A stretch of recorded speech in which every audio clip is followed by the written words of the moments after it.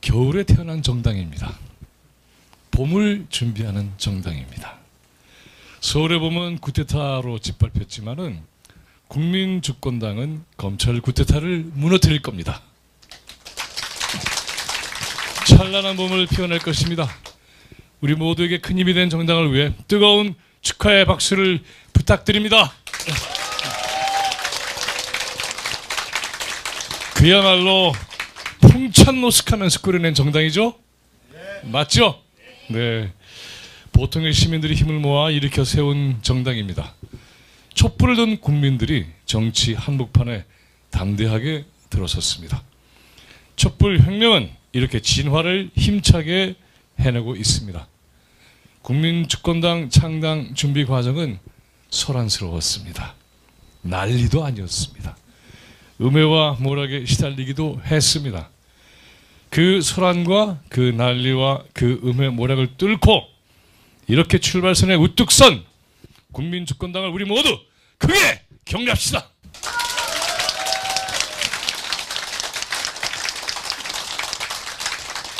본래 선구적 실체는 조용할 수 없습니다. 그런 어려움 덕택에 국민주권당은 저절로 그 이름이 알려졌습니다. 역사가 만드는 역설의 위력입니다. 그건 국민주권당이 이 시대에 반드시 필요하기 때문에 생겨난 일이었습니다. 주권 혁명을 감당하는 정치 세력의 등장은 이 시대가 앞으로 갈 것인가 뒤로 물러설 것인가 그것을 결정하는 관건입니다. 따지고 보면 촛불 행동은 근원적으로 국민주권당의 모태이기도 합니다. 물론 촛불 행동이 국민주권당을 만든 것은 아닙니다.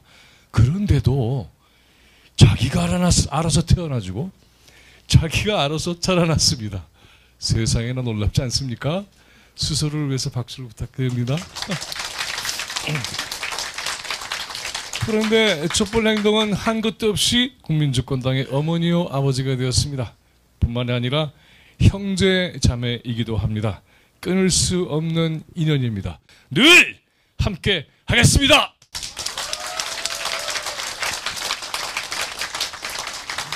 촛불 국민들이 모여 일어난 촛불 행동의 정신과 의지를 이렇게 알아서 자신의 과제로 삼아 정당을 만든 여러분들을 진심으로 존경합니다. 감사하기 이를 데 없습니다. 자랑스럽습니다. 앞으로의 전국은 탄핵 전국이 될 것입니다.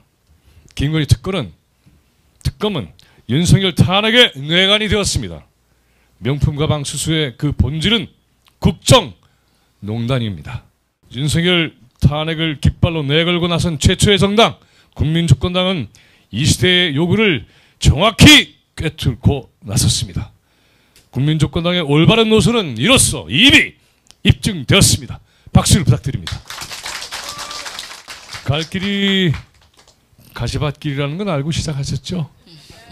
그런데 마술을 보게 될 겁니다. 가시밭길을 밟고 가면 그 순간 그 길이 옥토로 변하는 것을 세상이 보게 될 겁니다. 뿌듯하지 않으세요? 보무도 당당하게 힘차게 진격하시기 바랍니다. 국민주권당이요 담대하게 진격하라! 사실 좀 부끄러운 얘기긴 하지만은 매번 400회, 500회의 조회수를 넘지 못하다가 지난번에 단번에 5천 가까이 조회수를 기록한 진격의 촛불 삼총사 박지동, 광도현, 김민웅이 함께 전하는 축하입니다. 이참에 촛불행동 TV의 대표 프로그램 진격의 촛불 삼총사에게도 박수를 부탁드립니다. 때가 되었습니다. 국민주권당은 주권혁명의 최전선입니다. 모든 권력은 국민에게서 나온다고 했죠. 이제는 한 걸음 더 나가야 됩니다. 국민이 곧 권력이다. 목표하신 바 꼭 이뤄내시기를 바랍니다. 그리 될 것입니다. 우리 모두의 기쁨이 그렇게 이루어질 것입니다. 다시 한번 축하드립니다. 우리 해봅시다. 윤석열을! 윤석열을! 주권, 국민주권당 만세! 고맙습니다.